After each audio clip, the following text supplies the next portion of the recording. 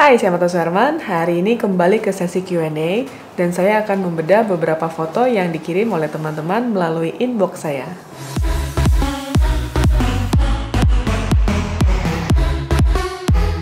Thank you banget buat teman-teman yang sudah kirim email ke martasuherman at gmail.com Banyak banget emailnya, thank you banget Dan yang kali ini saya akan pilih satu buah email Dan saya akan bahas apa sih kira-kira kekurangannya dan apa yang kira-kira bisa diperbaiki. Nah, email yang saya pilih hari ini adalah email dari Indra Makarau Channel. Emailnya adalah indramakarau1 at gmail.com. Nah, ini ada dua buah foto. Dua-duanya adalah foto pada saat sunset. Foto yang pertama adalah ini. Dan yang kedua Nah, kedua ini uh, foto landscape yang saya kalau lihat dari exif-nya ini diambil dengan Xiaomi Redmi Note 7 ya. Nah, ini bisa diperbaiki, bisa dimaksimalkan. Karena kalau di foto yang pertama saya lihat komposisinya dengan menggunakan foreground itu sudah sangat menarik ya. Jadi mungkin bisa dieksplorasi lagi, mungkin diambil sedikit lebih ke bawah dikit ya. Dan kemudian yang harus diperhatikan kalau kita motret foto landscape adalah garis horizon. Jadi garis horizonnya harus lurus. Nah di foto ini garis horizonnya agak sedikit miring ya. Ini masih bisa diperbaiki. Jadi kalau uh, bisa masuk ke software, coba cari bantuan untuk meluruskan garis horizon. Garis horizon itu adalah perbatasan antara daratan dengan langit. Nah, itu penting banget kalau kita ngomong foto landscape. Jadi itu salah satu unsur yang menentukan keindahan. Selain itu, yang menentukan keindahan dalam sebuah foto adalah komposisi itu sendiri. Jadi komposisi adalah unsur yang paling penting dalam sebuah foto. Kalau teman-teman belum tahu mengenai komposisi, bisa cek di video saya sebelumnya. Saya ada membahas teori komposisi dan nanti linknya akan saya share di bagian bawah. Dalam komposisi ini, ini lengkap banget. Ada foregroundnya yaitu batu-batuan. Kemudian ada middle groundnya di mana itu ada pohon-pohonan. Dan kita juga memiliki background yaitu langit itu sendiri. Nah ini bisa menarik dalam foto landscape itu banyak banget teman-teman yang suka banget bermain dengan foreground. Terus terang yang satu ini saya nggak tahu ya ini menggunakan smartphone atau bukan karena kalau di foto yang satunya itu ada watermarknya dari Xiaomi. Nah yang ini tuh nggak ada. Tapi kalau saya lihat dari pergerakan airnya, foto ini sepertinya menggunakan filter.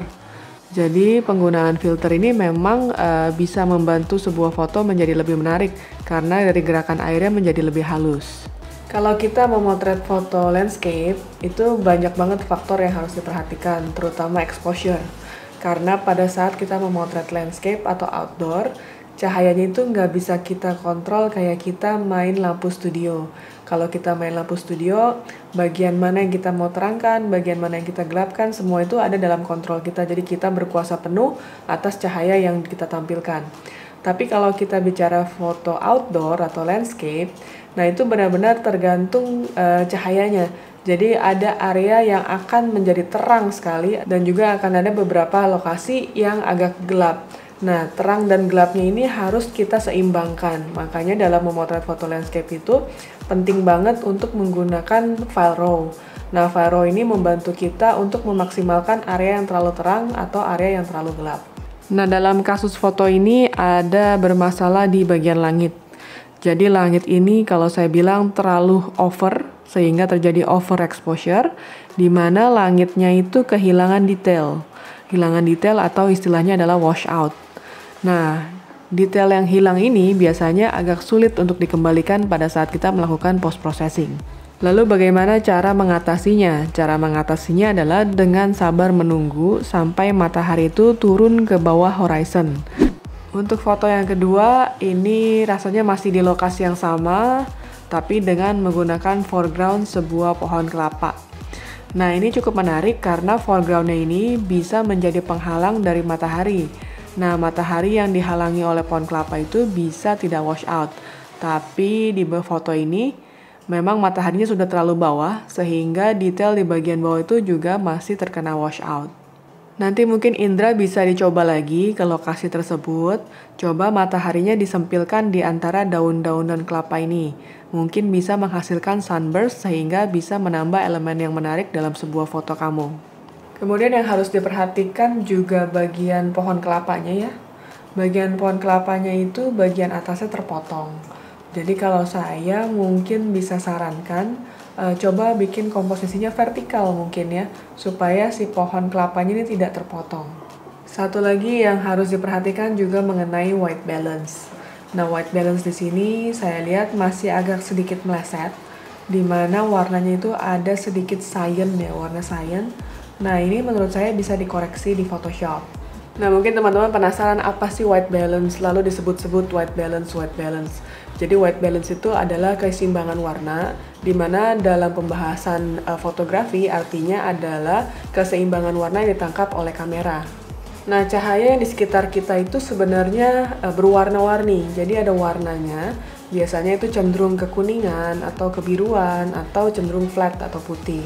Nah warna-warna ini biasanya berubah-berubah jadi supaya kita tidak merekam warna yang salah, makanya sebuah kamera itu disediakan fasilitas white balance. Nah, paling gampang itu buat ngecek white balance dengan memotret benda atau kertas berwarna putih. Jadi kalau di lingkungan sekitar kita atau di ruangan kita ini ada cahaya yang berwarna, nah dia akan otomatis berubah. Jadi foto e, benda atau kertas yang berwarna putih itu akan menjadi sedikit kebiruan atau sedikit kekuningan.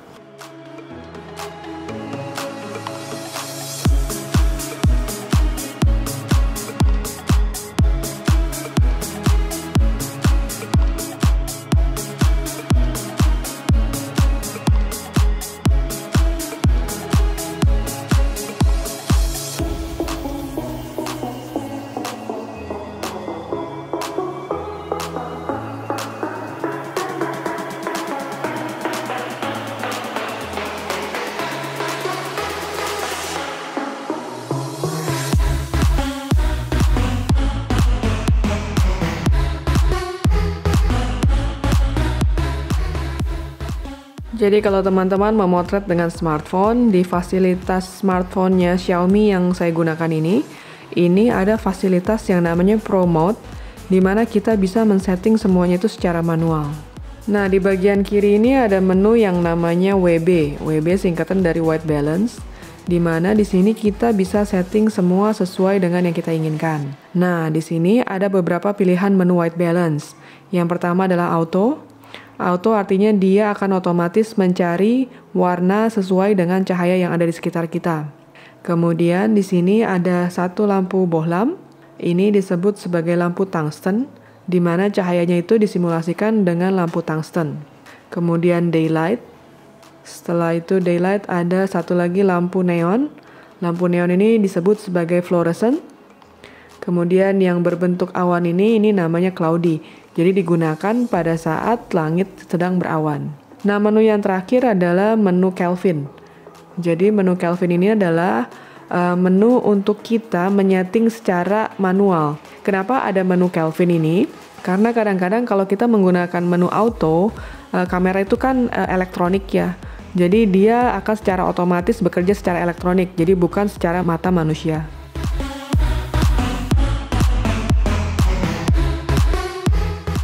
Jadi yang harus diperhatikan dalam pengaturan Kelvin adalah angkanya itu bila angkanya kecil itu artinya dia akan semakin uh, warm dan bila angkanya semakin tinggi itu artinya dia semakin dingin.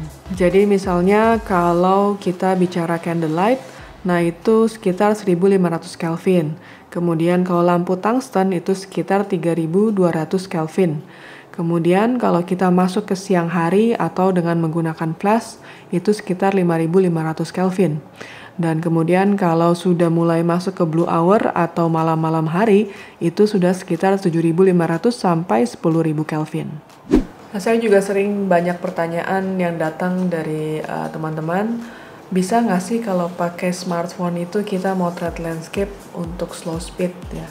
Sebenarnya bisa-bisa aja, tapi kalau misalkan uh, kameranya nggak punya menu manual, coba cari software yang memungkinkan kita untuk men-setting kamera kita menjadi manual.